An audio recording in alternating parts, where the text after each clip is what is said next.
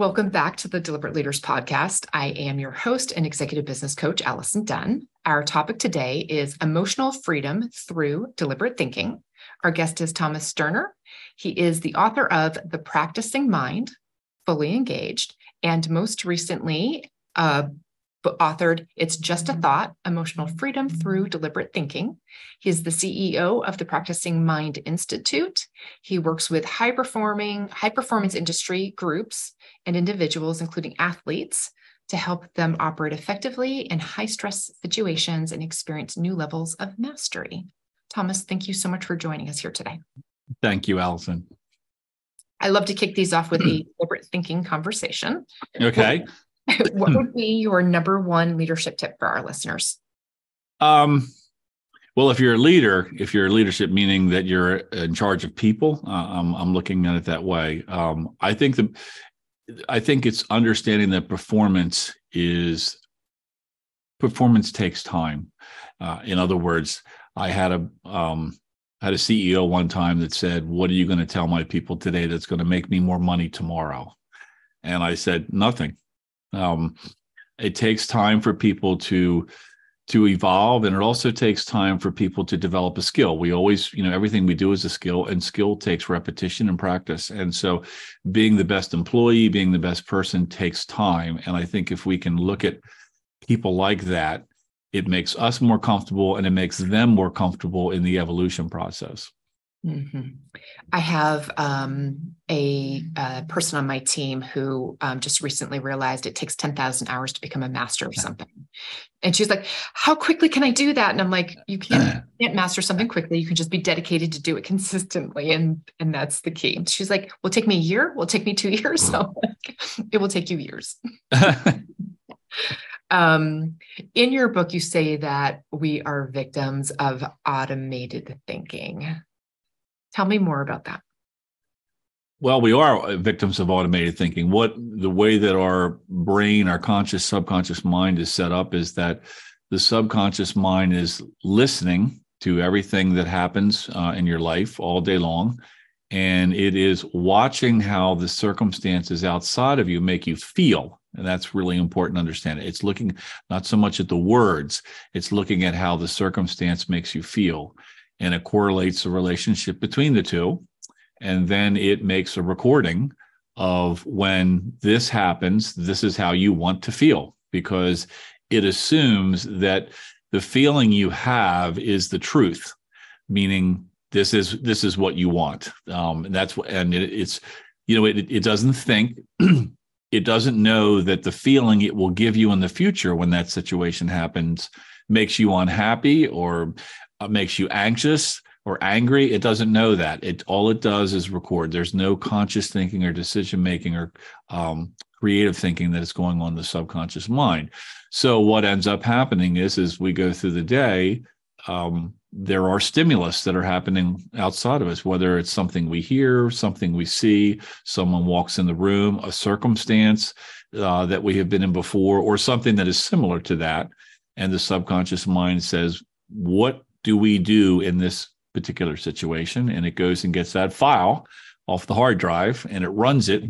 That file is thoughts, and you are uh, ex- you experience the emotional content of those thoughts, even if it's not something that you particularly want. Mm. Um, last week, I ran an emotional intelligence workshop. And so, what you're speaking of is definitely like key to the techniques of the emotion and the thought behind it. Um, what coaching guidance or what guidance would you give to helping people identify the emotion and maybe even the thinking that has been automated for us? Like, well, that you know, this what we're talking about is a loop um, mm-hmm. that happens, and you know, many people don't think that they are in this loop. You know, there's a, there's two different perspectives. One is you are in the thought and the emotional content of the thought, and the other is you're watching it. You're the noticer, the observer.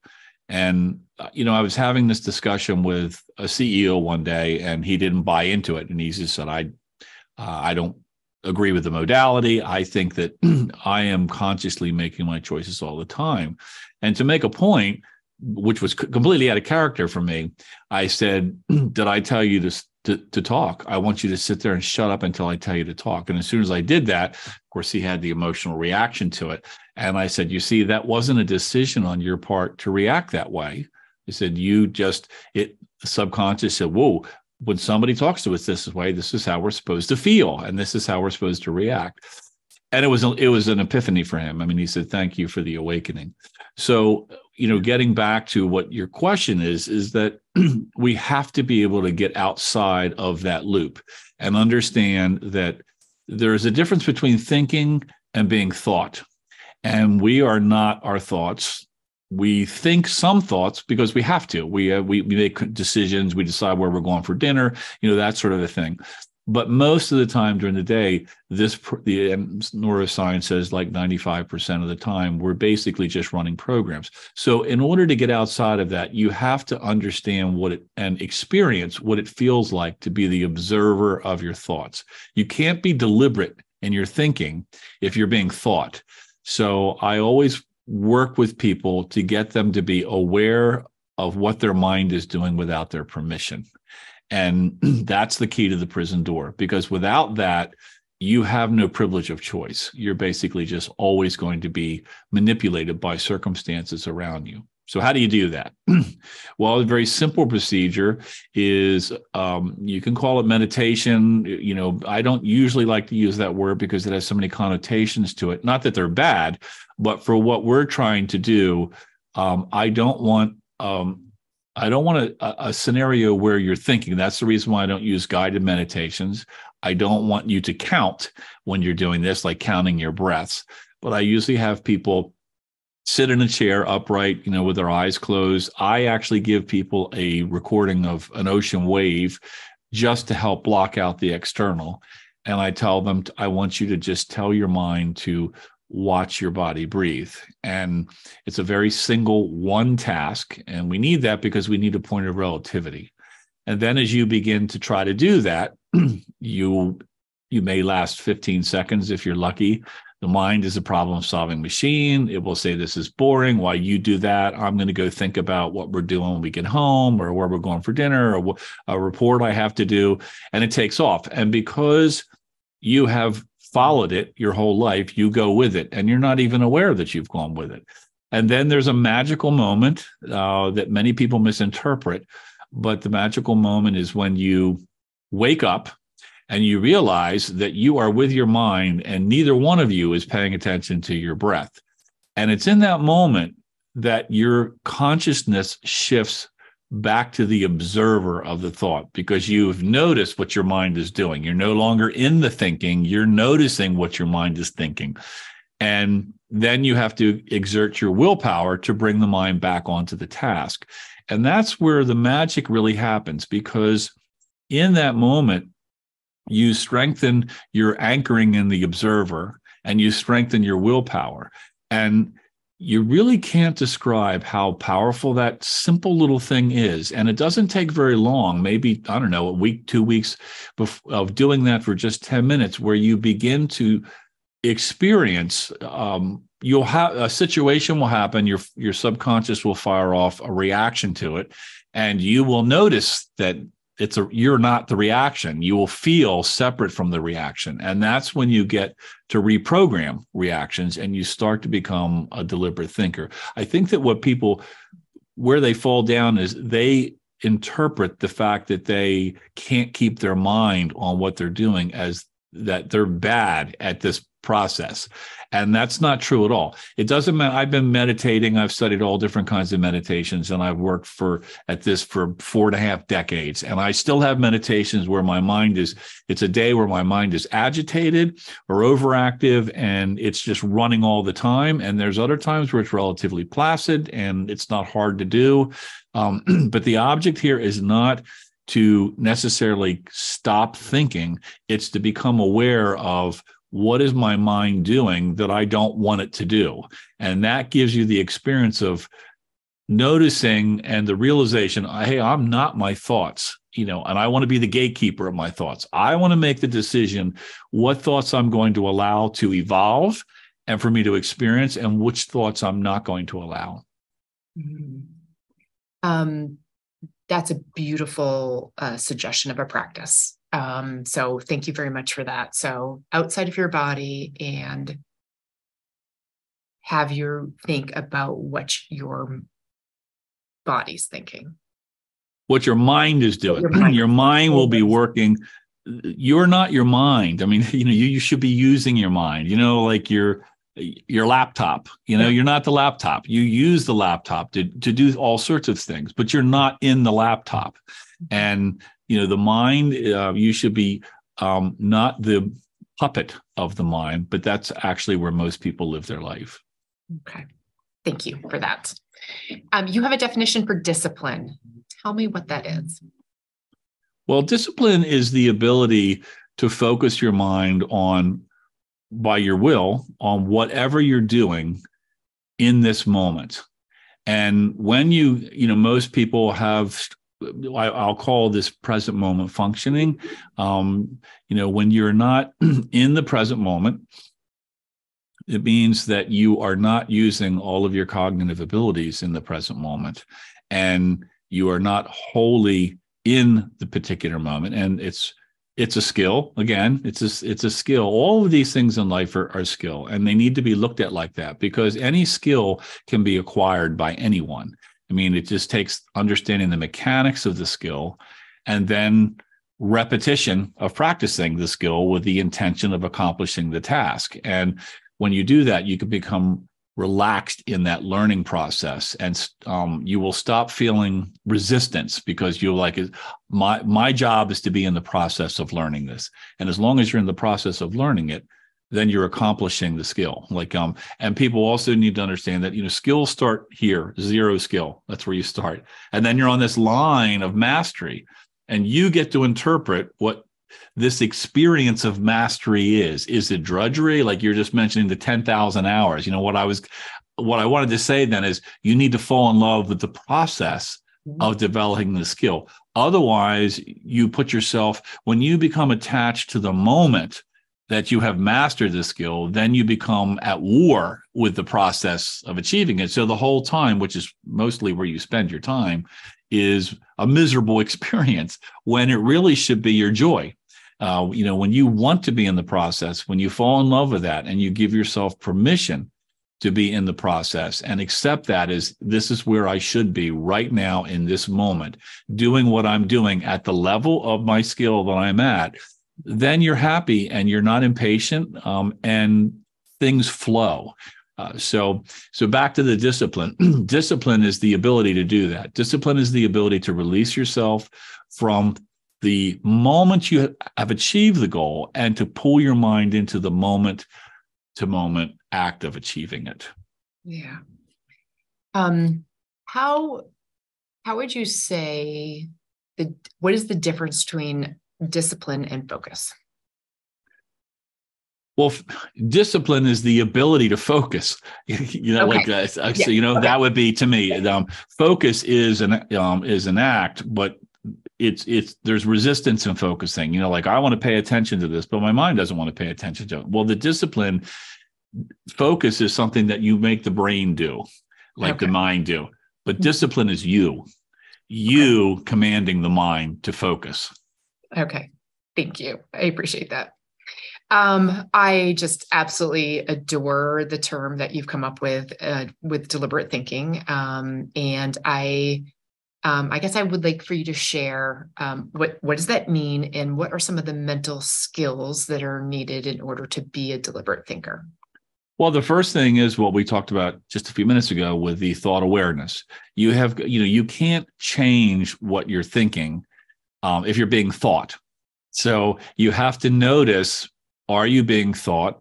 Am I in that place where I'm being thought?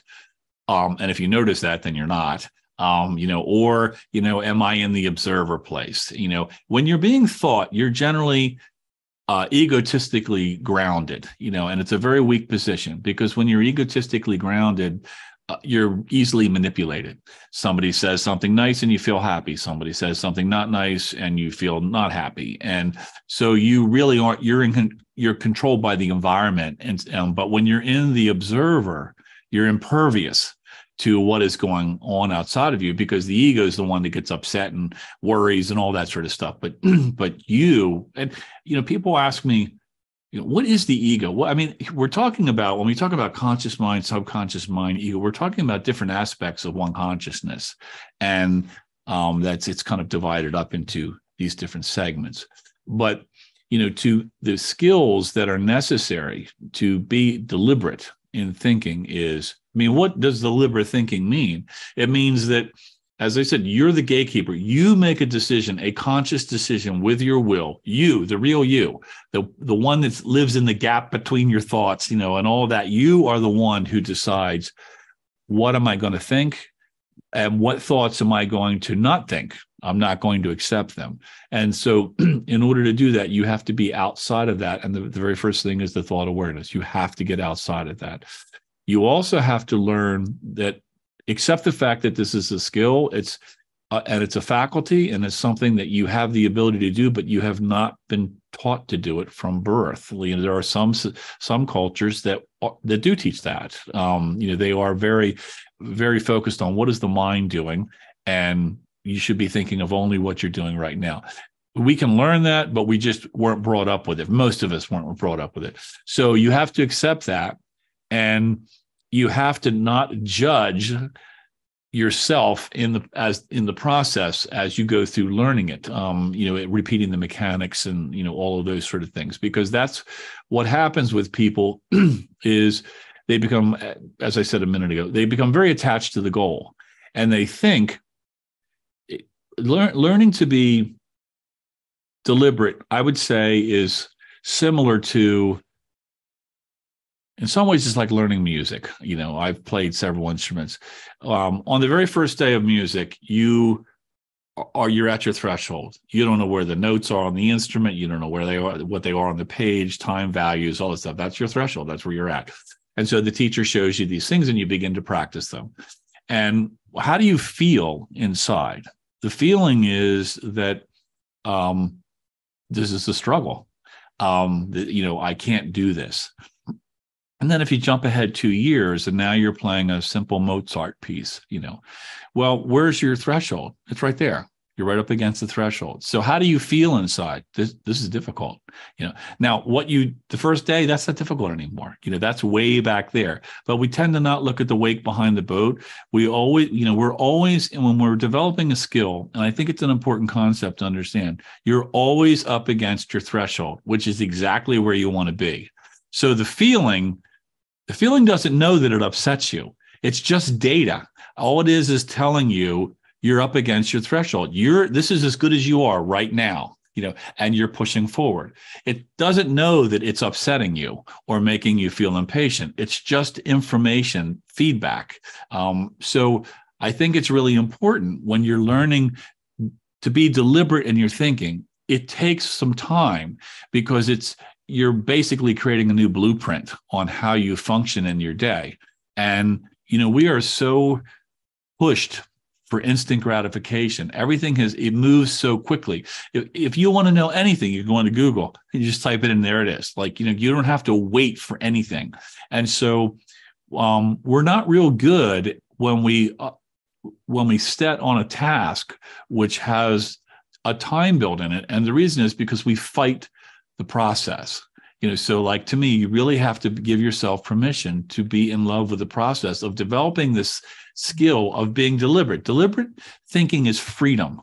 It's total freedom because it means that you will decide what you will think and what what thoughts you will allow to run through your system because as the thought is created the emotion is created and of course your blood chemistry changes all that happens but for most people, they just kind of sit there and it happens to them.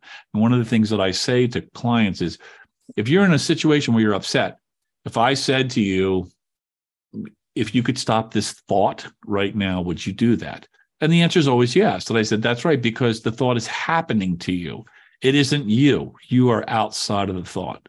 So when you learn to really feel and rec- and, and have that realization, I am not my thoughts. And I have the choice of whether I ex- experience this. I can be deliberate about what my response is going to be.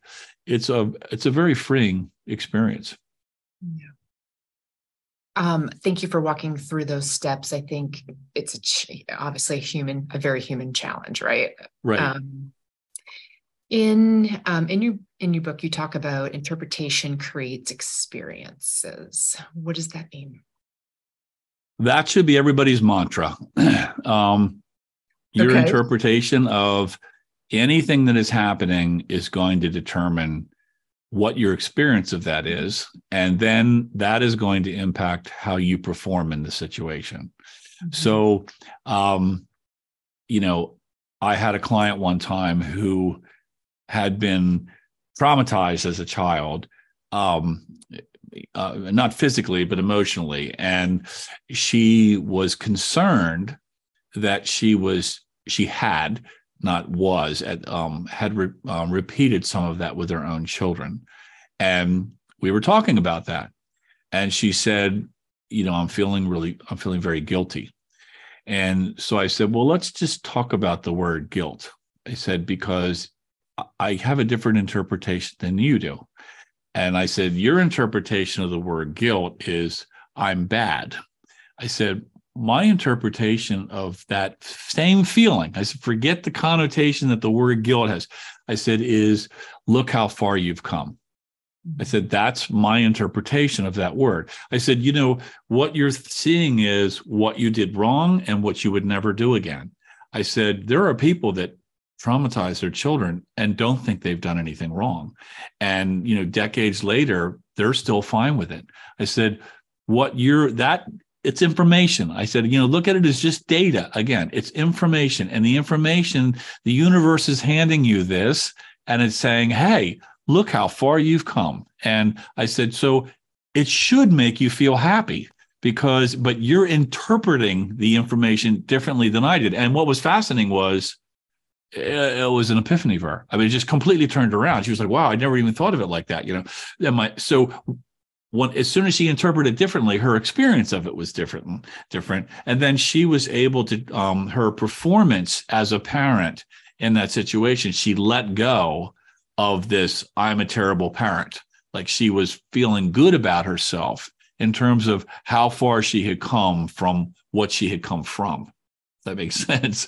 Um, Absolutely. Yeah. Um, and a beautiful story to like have like the just that understanding of it's how you perceive it, right? And give it give it the meaning that it is.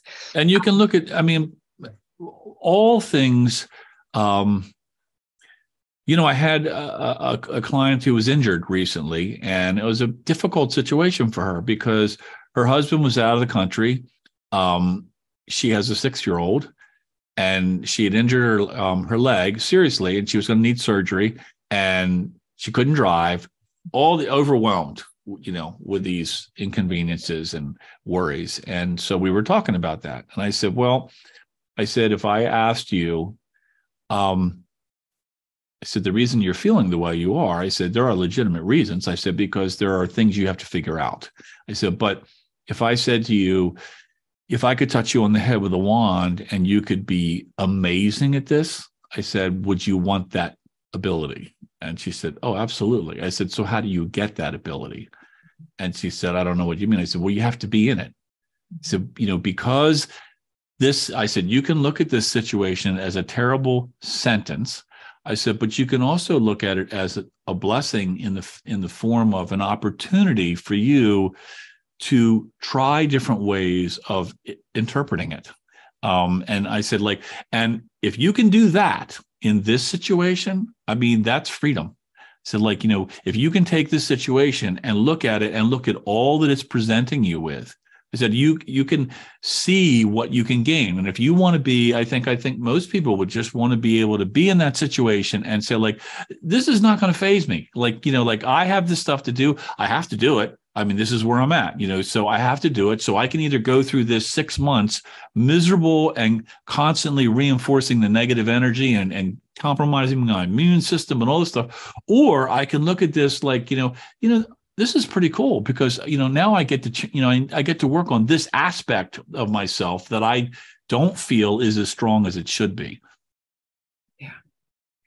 Uh, another great example, and it may even lead into my final question, which is what does it mean when we find ourselves in a situation that creates a sense of struggle?